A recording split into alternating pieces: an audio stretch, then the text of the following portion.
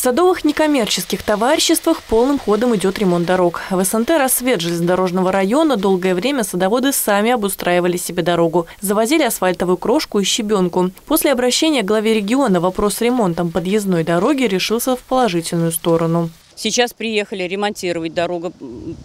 Засыпан песок, засыпана щебенка.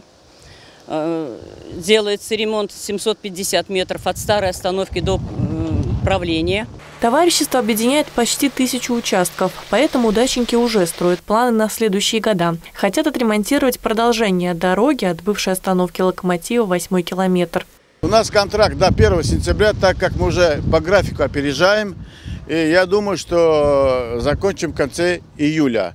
У нас сейчас песчаное основание, щебеночное основание. И в конце асфальтогрануляторы мы выполняем эти виды работ все. Также ремонт дорожного полотна проводится в других СНТ «Свияга», «Пригородный», «Елочка», «Волна» и «Прогресс». Анна Тищенко, новости Управда ТВ.